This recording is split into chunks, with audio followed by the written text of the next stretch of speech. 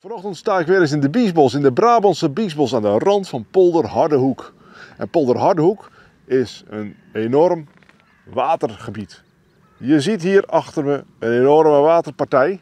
En in dat ondiepe water en in de delen die net boven water komen, ja, zie je momenteel echt duizenden eenden.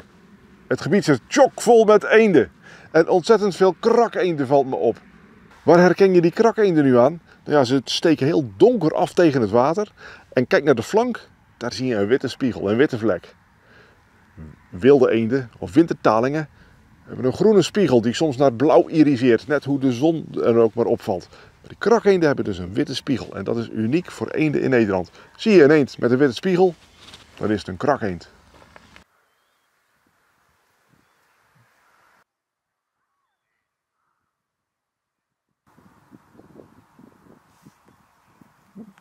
Ik zie ook Cassarca zitten vanuit de verte. Dat zijn hele voorname eenden. Beetje vergelijkbaar met onze bergeend.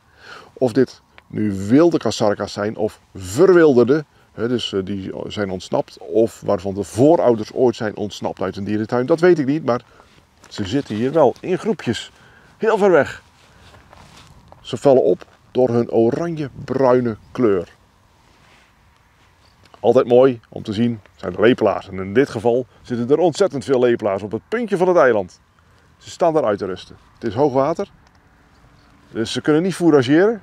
Als straks het water gaat zakken, dan zullen ze zich verspreiden over het gebied. En dan zie je ze door het water maaien. En dat is zeker wanneer het uh, zulke grote groepen zijn, ziet dat er echt spectaculair uit.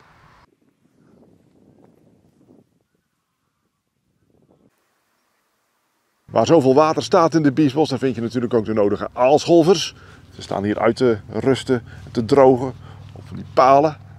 Grote zilvereigers zijn hier ook algemeen. Er staat er eentje midden in het water. Er stond er ook eentje aan de kant en die uh, vloog op om een soortgenoot weg te jagen. En ik zag ook kleine, kleine steltlopers rondscharrelen op het eiland voor de brug. Wat dat precies zijn, weet ik niet. ja, ze zitten zo ver weg. Ik zie wel dat er één bonte strandloper tussen loopt.